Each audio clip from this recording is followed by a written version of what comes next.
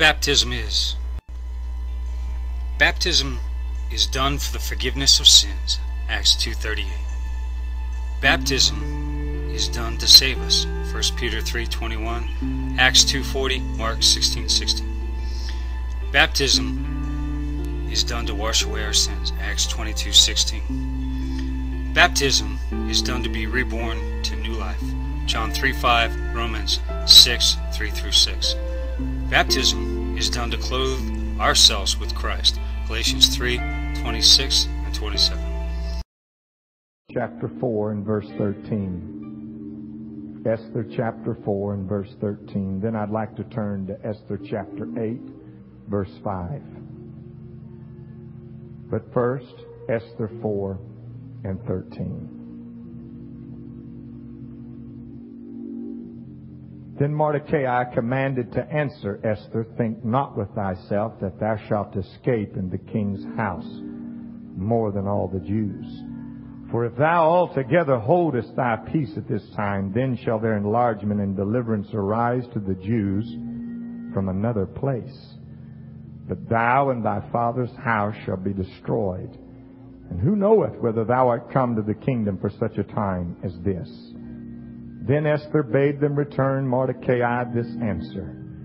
I, just for some reason, I didn't really see this until Brother Pugh preached this message, but kind of what he was talking about, Esther now finds herself in that predicament.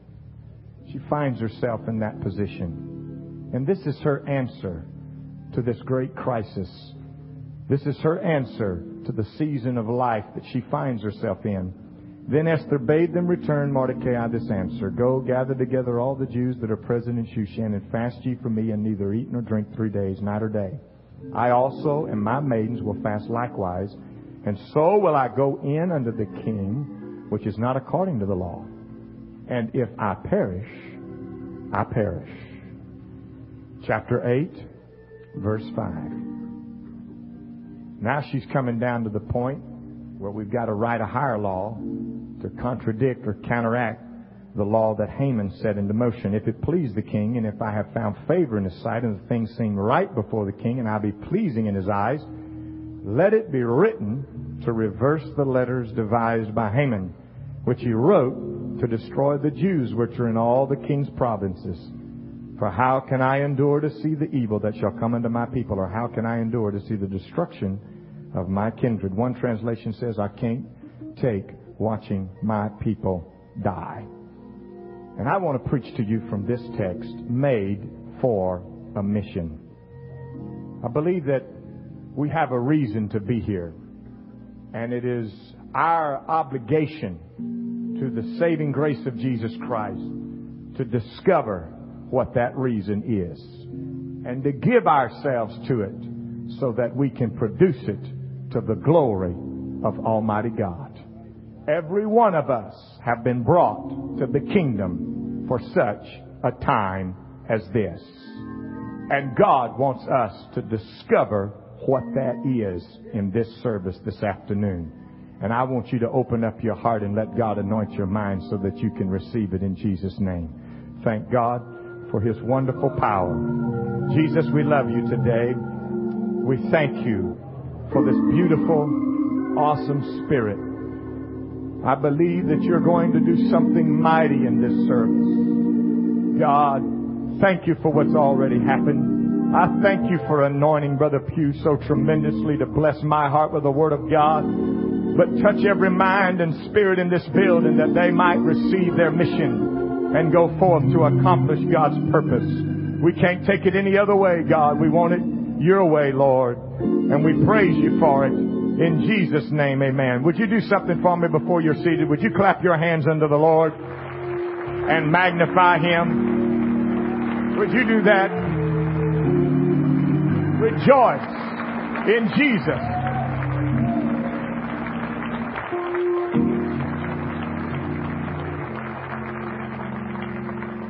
God bless you. You may be seated.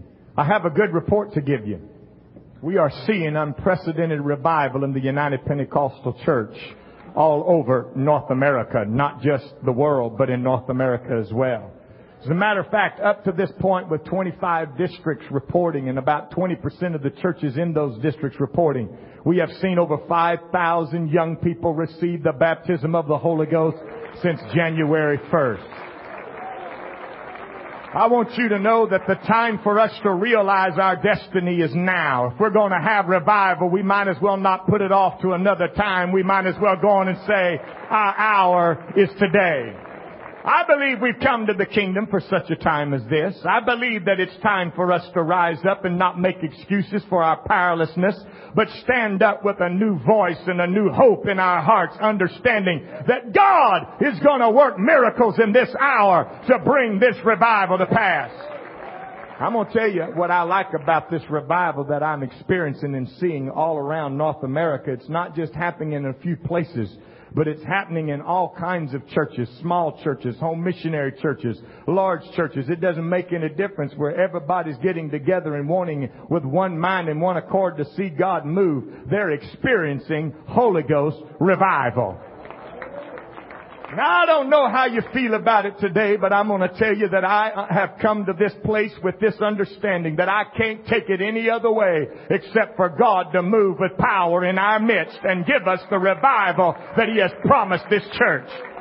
I've heard it promised all my life and I believe that my God is fulfilling that promise right now and I want to take a hold of it in Jesus name and see it in every church in the Indiana district, every church in the United Pentecostal Church. I want to see every one of them experience a Holy Ghost revival. Come on, we don't need to get upset when God starts blessing those across the street and those that are down the way. Uh, we need to let God give revival to whomsoever He will. If they're preaching the truth and believing the gospel, let God do it.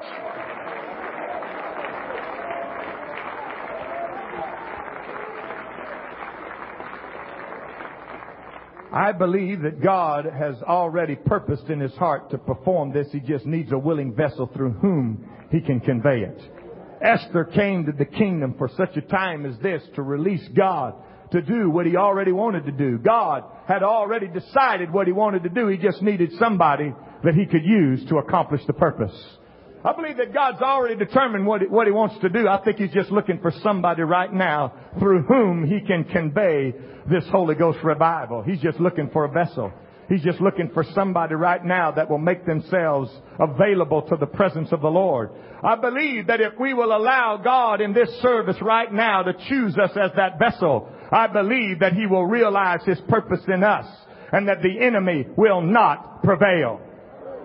I believe this revival includes a deliverance. I don't think they come in and stay the same that they are when they walk in, but I believe they walk out a brand new creature in Christ Jesus. I want a deliverance in this hour to set us free from our depressed state of mind that keeps us from rejoicing in Jesus and finding what God really has for us. I refuse to sit back and let the devil run all over us and beat us up in, the, in his own unholy name and try to take credit for all the things that are going bad. I want the Holy Ghost to rise up in this hour and give us a deliverance to overcome the powers of darkness and see a revival break out like never before. I'm sorry, I'm not going to sit back and let the devil run all over the United Pentecostal Church and our people uh, and give us a complex to where we can't break out uh, and experience what God wants us to have. I don't care what label they put on us. Let them call us what they want to. I want to be what God wants us to be. You shouldn't have to walk in here with your mind all bowed up and your spirit all bowed up about something. You ought to be free and liberated in the Holy Ghost uh, so you can magnify the name of Jesus and glorify God Almighty. Come on, we need a deliverance in this hour. God wants to do something powerful uh, and He needs somebody that's got the faith. I'm going to tell you something that this deliverance also includes an enlargement. God not only wants to set us free, but He also wants to enlarge us and make us bigger. I don't care what size your church is, it's not big enough. I don't care how many missionaries we've got, we need more. Say, well, we're struggling with the finances. I don't care. We need more missionaries than we've ever had in our entire history. We have not saturated the market. I still believe there's a lot of people that need to hear this gospel and need to hear this message, and we're not big enough yet. This conference isn't big enough yet. We need to pack it out with people that are hungry for God, wanting to, to hear a word so they can go home and bring about deliverance and revival to the people. We got to get that kind of mentality in our mind and our spirit where we say, I've got to stretch out and grow just a little bit. And I don't think we need to be afraid of declaring it either. I don't think we need to be ashamed of standing in the pulpit and expecting God to do something powerful like He's promised in the Word of the Lord. Come on, we need to get some deli- get some deliverance from some concepts that have got us bound. We need to shake them off in the name of Jesus Christ.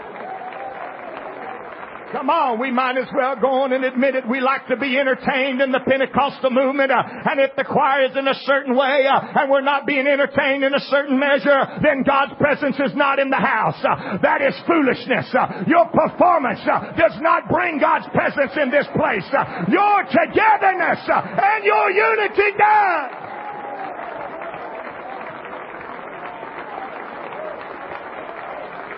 Come on, we need to get delivered from that kind of entertainment mentality uh, where they got to put on a show to get us worked up in the spirit or something. Uh. We don't need that. We need to get together in one mind and one accord and walk in this place and believe uh, that my God's word is true.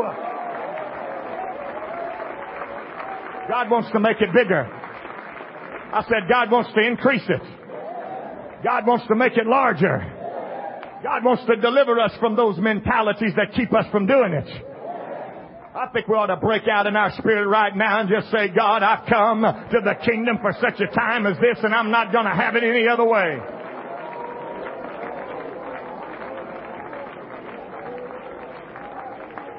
But I want you to notice something about this deliverance because we're not going to get it unless we learn how to present ourselves to the King. And you can't just present yourself to the king in just any way you want to and get, gain acceptance in his presence.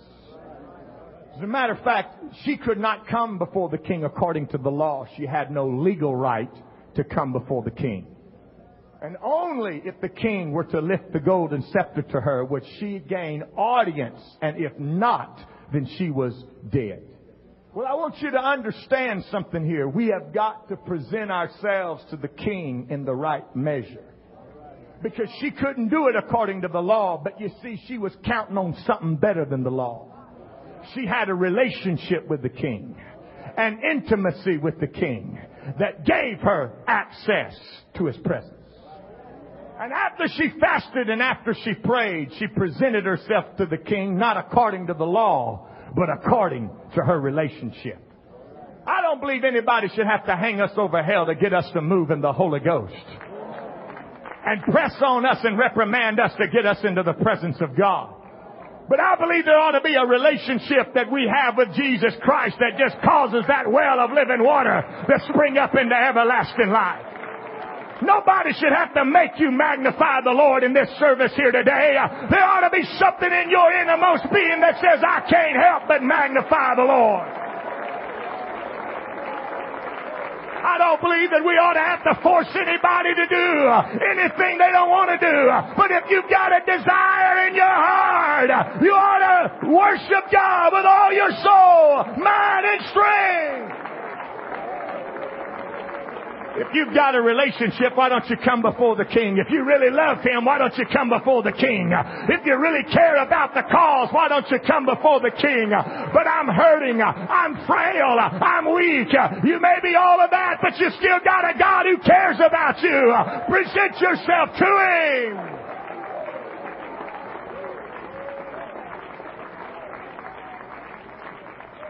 Whenever Esther presented herself to the king after her days in fasting, the King James Version does not bring this out, but the Septuagint does.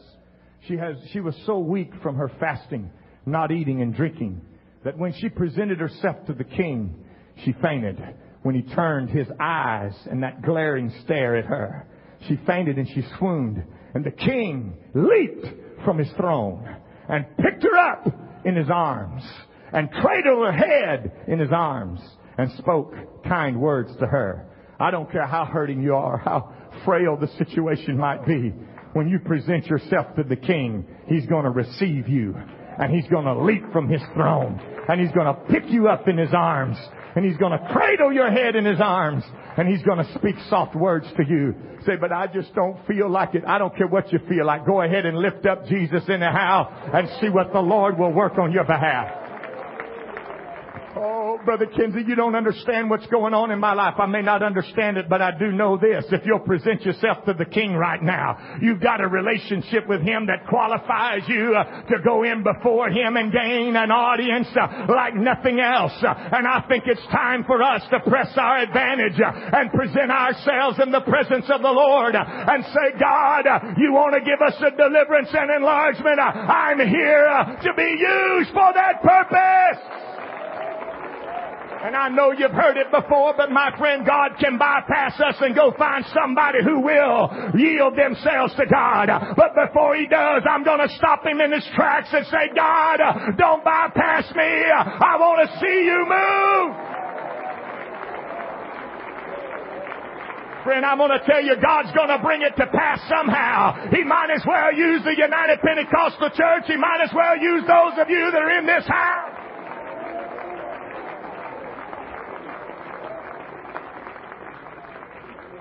But Esther did three things that released God to deliver the Jews.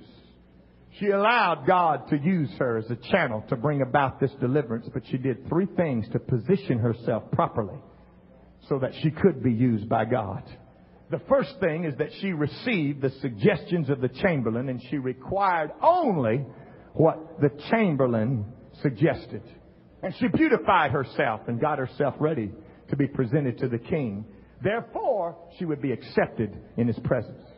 Well, I want you to understand something. We need a chamberlain. Now, I know that everyone here has got a pastor or someone that they look to that is in leadership that they look to for guidance and wisdom. But right now, as far as this service is concerned, I be's the chamberlain. And I am the chamberlain here in this service this afternoon. And whatever I suggest if you want to position yourself right to bring about deliverance and revival, you have got to require of yourself what the Chamberlain suggests. Now, I'm not telling you to do it. I'm just suggesting that you do it. I'm not commanding anybody to do it. I'm just suggesting that you do it. I think everybody in the house ought to clap their hands to the Lord. You know what I think? I think we ought to get excited about the simple truths of the gospel that we believe uh, and know is right. We got too much pressure on leadership now to try to pull something out of the hat. Why don't we just hear a good old fashioned message uh, about Jesus' name baptism uh, and the infilling of the Holy Ghost? There's still power in that message to bring about any kind of revival you'll ever want. I think you ought to receive the suggestion.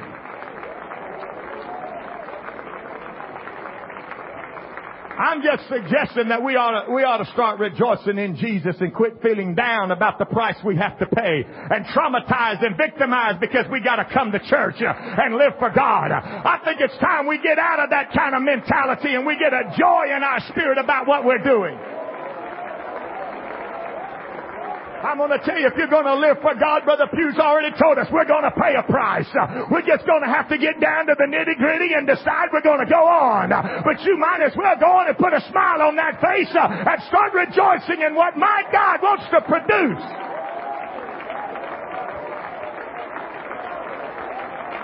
Come on, the Chamberlain is here making the suggestion. You need to beautify yourself with the suggestion.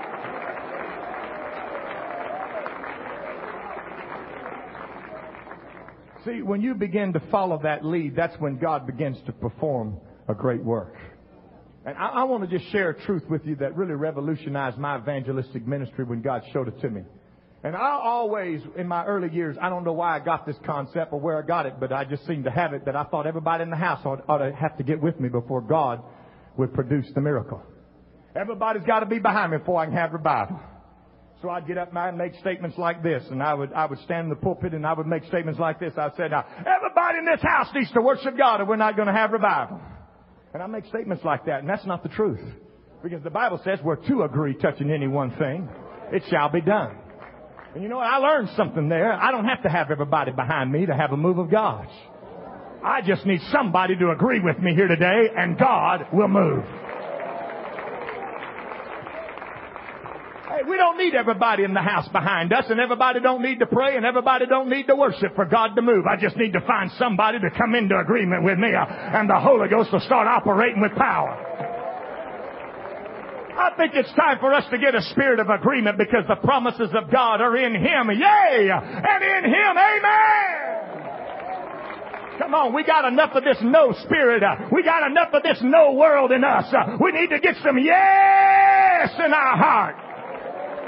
Come on, if God's gonna move, you can't just sit there always contradicting what's going on in the pulpit, uh, saying, I wish it were done different and I wish he'd do this and I wish he'd do that. Come on, we got to get our minds on what the purpose is. Uh, quit worrying about what this man's doing. Uh, just get into sync with what the Holy Ghost wants uh, and say, God, do it!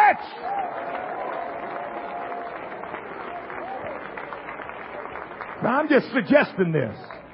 But I just want you to know that this word amen means different things in different languages. In one particular language, it's actually three yeses said repeatedly on an ascending scale. Yes, yes, Yes! That's what amen is in their language.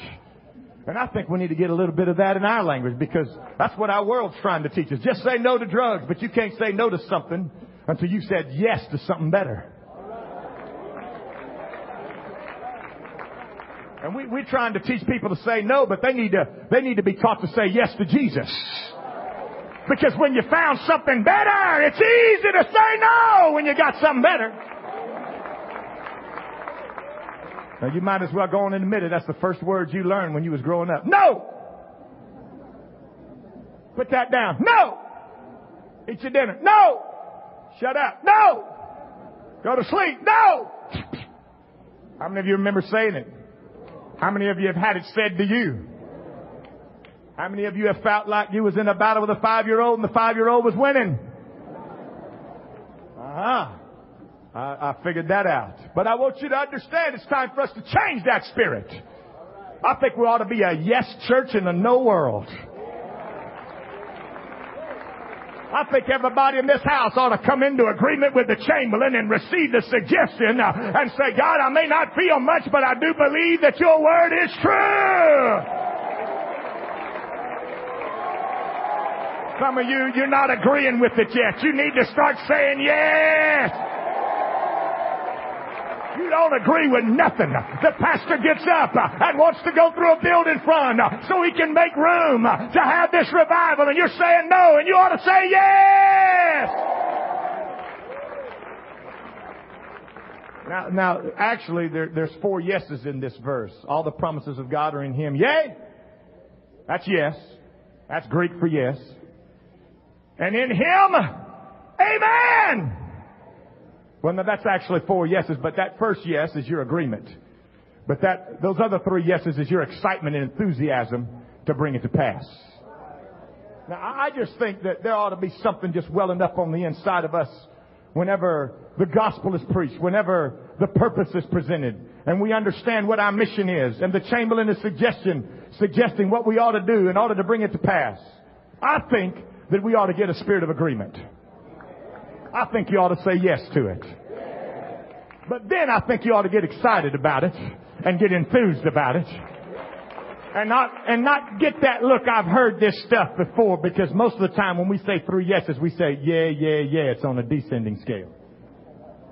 And we need to, we, yeah, yeah, yeah, you know, we've heard this before, but you don't need that kind of spirit. You need that other kind that says, yes! God's deliverance and God's purpose is just as true right now as it has ever been. And He's wanting a church somewhere through whom He can convey His deliverance. I want to know, is it going to be you? Is it going to be you? Is it going to be Indianapolis? Is it going to be the rest of the United Pentecostal Church? God is wanting our agreement. Yes, you need a chamberlain directing and suggesting what must be done. But this is, this is the kind of attitude that we gotta have and we gotta get it in our spirit. Tommy, Brandon, come on up here. I want you to be the blessings of God. I gotta illustrate this for you because you gotta see it. I want you to go stand over there and you're gonna be the blessings of God. You're gonna follow behind me and you're gonna stop when I stop, go slow when I go slow, and then when I pass the pulpit, I want you to run up behind me and scare me, okay? You got it? But I gotta pass the pulpit first, alright? Well, the Bible says it very simply in, in the book of Deuteronomy. It says, the blessing shall overtake thee. That means it's going to catch up with you if you hang around long enough. But if you don't ever start the process, it's never going to happen. And somebody's got to start the process because the gifts and the blessings, the signs, the wonders and the miracles, they always come behind you. They always follow you. So you got to start the process. But I don't feel anything. Do it anyhow. But you don't understand what I'm going through. I may not understand what you're going through, but I promise you this works. I proved it in my own life. If you'll go ahead and present yourself to the king according to your relationship, not your emotional condition. God does not change according to your emotions.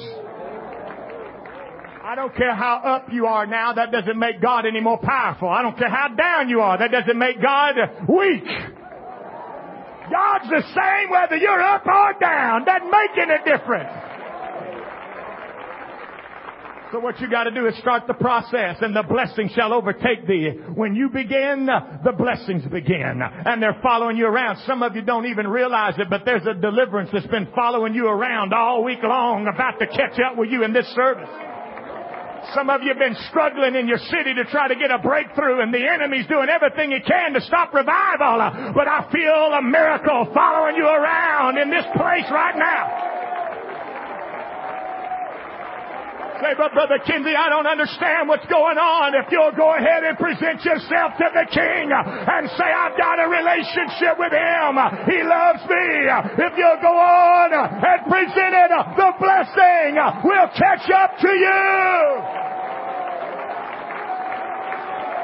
Don't stop just because you might be disillusioned right now. Don't stop just because you're frustrated. Keep on! Come on, I'm just making suggestions, uh, but you ought to require it of yourself.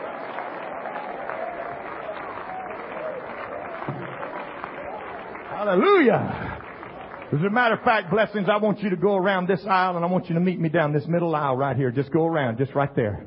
I believe God's already got the date marked on the calendar when the blessing's going to catch up with you. I, I, I just believe God's already got the route mapped out because I believe that our steps are directed by the Lord.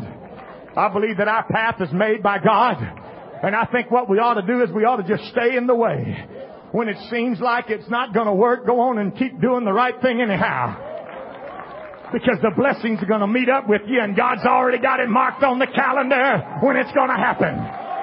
You and the blessings have a divine appointment with God. Come on. This blessing's not gonna leave you. My God is true. My God is faithful. Why don't you hang in there? Praise God. I want you to know that this great revival that we're seeing all over the world, I'm so excited about it. I don't hardly know what to do with myself. I, am going to be honest with you. I have preached this kind of revival all of my life, even when I was just a little old kid preacher. I started preaching when I was 13 and I went full time when I was 18 and I'm, I'm still in it. And I still believe the message. Oh yes, it gets frustrating at times and it's a struggle and you get tired and you get weary and all of that kind of stuff, but I'm still going to present myself to the King. Hallelujah. I said I'm still going to come before the King, struggling, frail, weak, beat up, beat down, bruised, uh, but I'm coming before the King because I have this attitude. I can't take it any other way. I gotta see God work. I gotta see God move.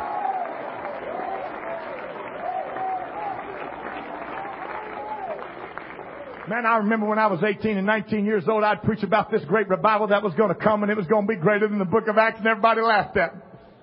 And they said, oh boy, that little kid, boy, he's just so excited and you know, he'll settle down, but I never settled down and I still believe that. And I'm going to be honest with you. Alright, can I get honest? I quit preaching that because I got embarrassed by it because people embarrassed me so much about it. I just stopped preaching it. And I said, no, I'm not going to preach it. And then it got to burning in me like a fire. And I said, I, I, I just shut up in my bones and I just can't stop this thing. I got to let it go. And somebody pulled me aside and said, you're afraid to declare what God's put in your heart. And I said, well, not anymore. So I got up and I started believing God and started preaching it again. And guess what? It's happening right now.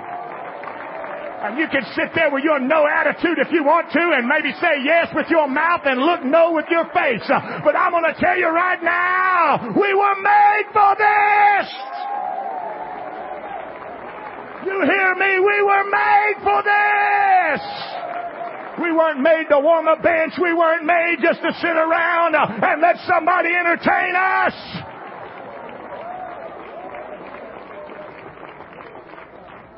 And I think it's time for us to get into that spiritual mindset where we are not traumatized or victimized by what we have to go through to the point where we got to go through six months of therapy before we can lift our hand and praise God again. This is not a therapy session. I hope you get healed. I hope you get blessed. And I hope the Word of God gives you direction and all of that good stuff. But this is not a therapy session. Mm, some people, they just want sympathy. They, they don't want deliverance. They don't want healing. They don't want to get out of the mess they're in. They want to stay in it because they built a religion around it. I can't take that kind of stuff. I gotta have something better than that. And I know I found it in the Word of God. And it's here right now.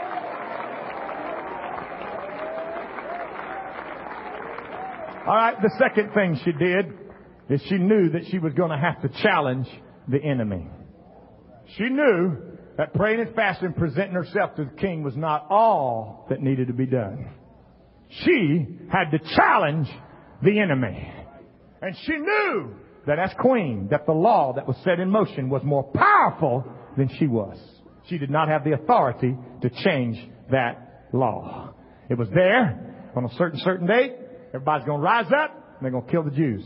It's exactly what's going to happen throughout all provinces of the Babylonian Empire. That's what's going to happen. And so she knew that she had to challenge the enemy. And you might as well get ready for it. We're going to have to challenge the enemy. And we're going to have to be brave enough to put up a fight in Jesus' name. Now, I don't know what your experience is, but every time I've started preaching revival where it's not happening, trouble breaks out. And some people had rather not have the revival because of the trouble it brings. Because it is trouble. People get your seat, they get your parking place. You get all kinds of crazy people coming to church. I remember when I was just a young preacher back in Brother Thornton's church in Lake Charles. And, uh, I was just sitting on the front row, had a bad spirit because all the hippies and the yippies were coming to church and getting the Holy Ghost. And Brother Thornton was using them and not me. And they had these exciting testimonies about all the great things that were going on, you know how God saved him from this and from that. And, and, and I wasn't being used, and I was just sitting right there on that front row. And, and he wasn't using me, and I, I got a bad attitude. I said, uh, God, what's going on here? I'm called to preach. And he's using all these hippies and these yippies that are coming in here and they're, and, and they're praising God and they're all excited. And the Lord spoke to me and said, if you get off your backside and start worshiping me like they do, maybe I will use you too.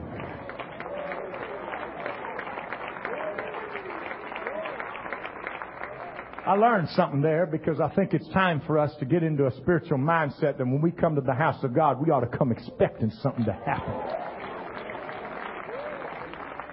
Instead of this dull attitude that says, uh oh, one more church service and feeling traumatized because you gotta go. Victimized because the preacher calls one more fast day or one more revival. We gotta get out of that mindset. We gotta get excited about this thing. Fasting's tough for all of us. And it's getting tougher the older I get. But I want you to understand that we're going to have to stand up to the enemy in the name of Jesus. But she had a certain way to do it. She didn't just come out directly and confront him, but she got two banquets together and she decided instead of trying to confront him directly, she would please the king. So she prepared the banquet and set the king down at the banquet. She pleased the king because she knew she didn't have the authority to handle the enemy, but the king does. I'm going to tell you that we don't need to know the name of every devil to whip him. We just need to know the name of the one who's already whipped him. Come on now. Jesus Christ can handle this enemy. All we need is somebody to please the King. If you'll prepare the banquet and please the King, my God will handle the enemy on your behalf. I don't think we ought to just take it sitting down either. I think we ought to just let the enemy know we're not going to stop praising our God just because he's going to put up a fight. Because he doesn't give up territory very easily. And yes, we are going to have a little bit of trouble, but it's worth it! Sure, we're going to have some tough times and some rough times, but it's worth it! Because I believe that my God wants us to fight.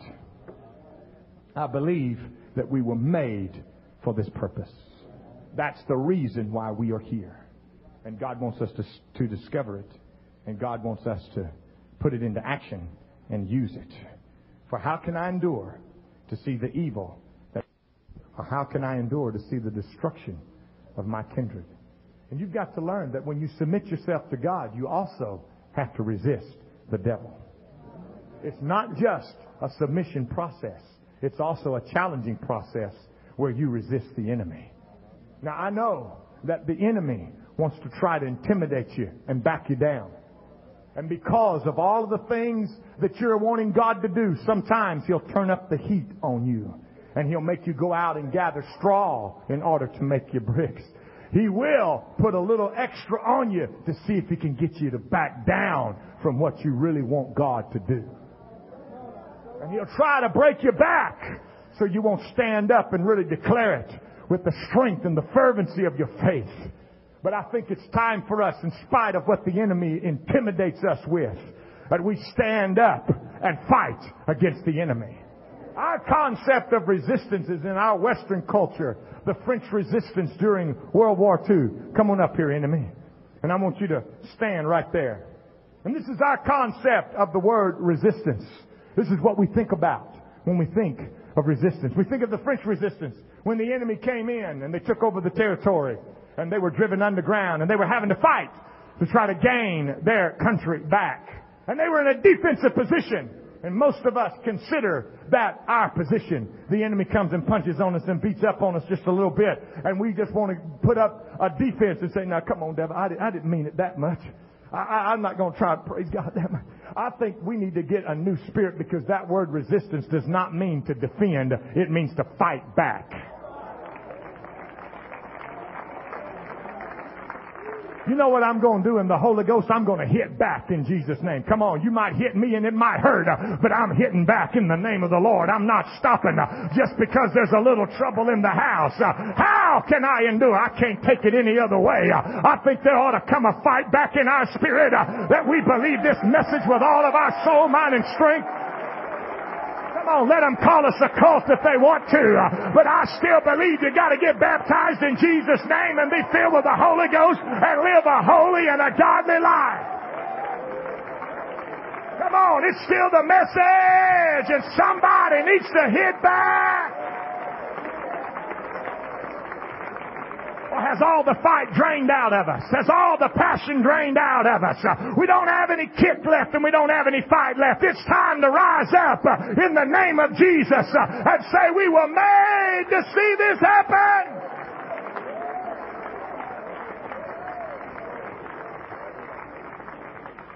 But the last thing that she did is that she reversed the curse.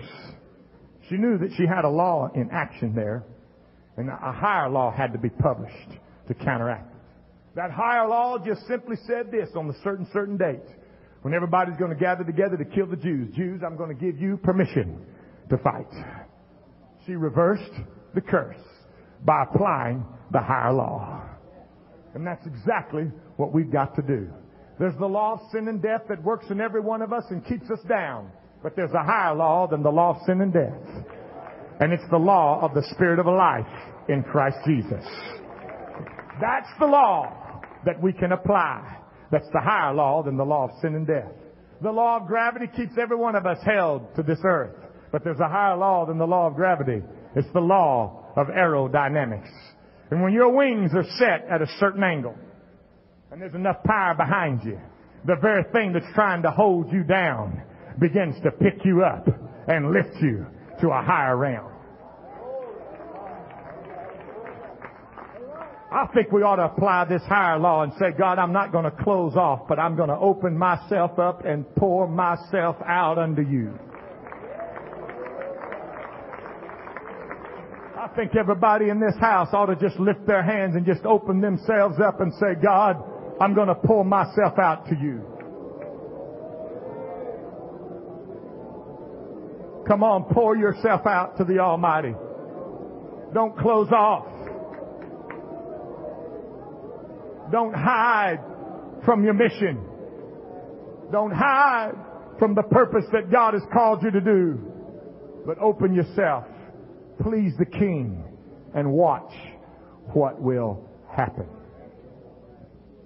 But there's something here in this story that I, I just need to tell you about. There's something very powerful, and it's helped me in my walk in life with God, and I want to share it with you. That after they applied this higher law and they published it to all of the provinces, and the Jews rose up and they fought on their own behalf, and God gave them the victory. That Esther decided she was going to start a new feast, and they called that feast the Feast of Purim. Now, the word Purim in the Hebrew language, or the word Pur, means lots.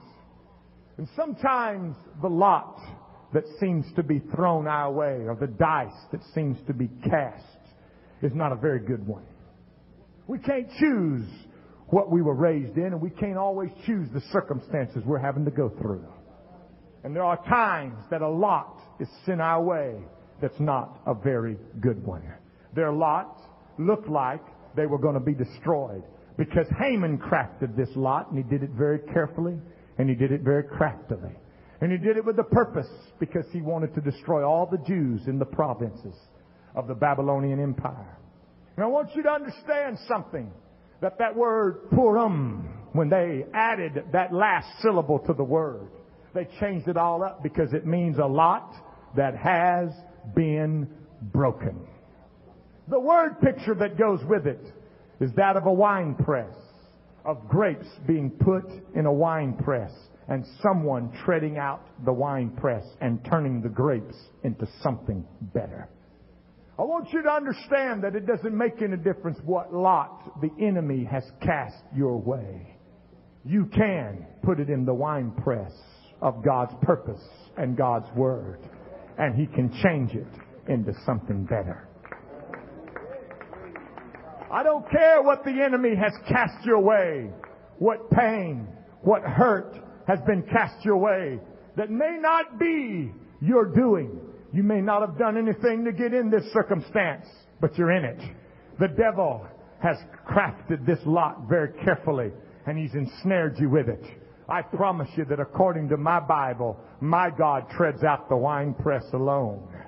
If you'll bring it to his wine press, he'll break it, He'll tread it out and he'll make something better out of it.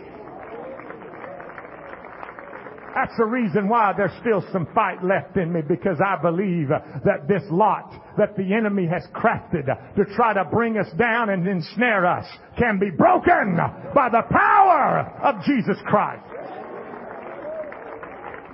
Come on, I don't care what the situation is. I want you to bring your lot right now and put it in the wine press and begin to rejoice in the Lord and say, God, I'm nothing without you, but I'm not going to close myself off. I'm going to open myself up right now and whatever you want to do with me, you do it. I want to pour myself out for your purpose. But Brother Kinsey, you don't understand what's going on. Uh, bring your lot right now and watch what God can do with it. If He can break it, uh, He can turn it into something better right now. If you'll just give it to Him, uh, He'll turn it around. You say, Brother Kinsey, uh, I don't think that I can come out of what I was raised in. Oh, yes, you can. You can come out of anything. If you'll believe God right now, you can come out of anything. That lot can be broken. My dad never served the Lord. He blew cigarette smoke in my face uh, until he died when I was the age of 17. Uh, but I want you to know I've never touched a cigarette to my lips and don't ever intend to because God can keep you. I want you to know that we all feel in this spirit right now that God's got something for every one of us, a mission, a purpose, and He's just waiting on you to bring the lot that the enemy has crafted very carefully, very skillfully, but we can break it. We can break it. You say, but there's just something holding me captive and I can't seem to break out of it. We're going to break it right now in Jesus' name. Say, but I've tried, Brother Kinsey. I've done this worship thing. I've done the praise thing. I've been faithful. I've done this, but I still feel bound and I just can't break out of it. You came to the right place this afternoon because we're going to break it in the Holy Ghost. But it just seems like I preach and I preach and I'm getting nowhere. We're fixing to break it right now in the Holy Ghost. I just feel something mighty in this place. I want you to know that God has spoken to us this morning through Brother Pugh's message, uh, and I feel that there's a breaking going on in the Holy Ghost right now. God's gonna break it. But I'm in some circumstances that I don't know how I'm gonna get out of. God's fixing to break it right now.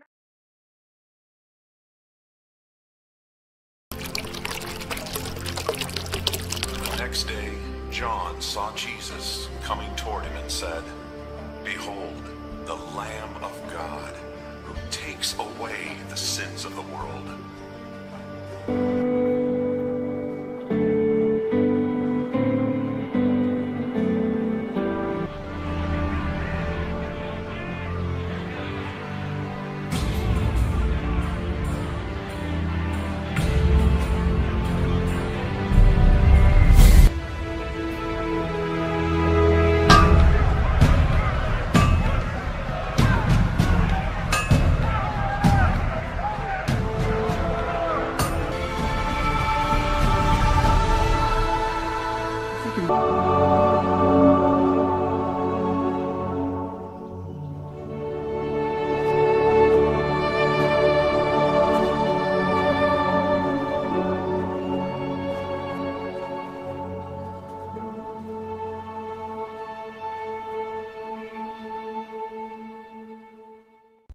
Trust in the Lord with all your hearts, and lean not into your own understanding.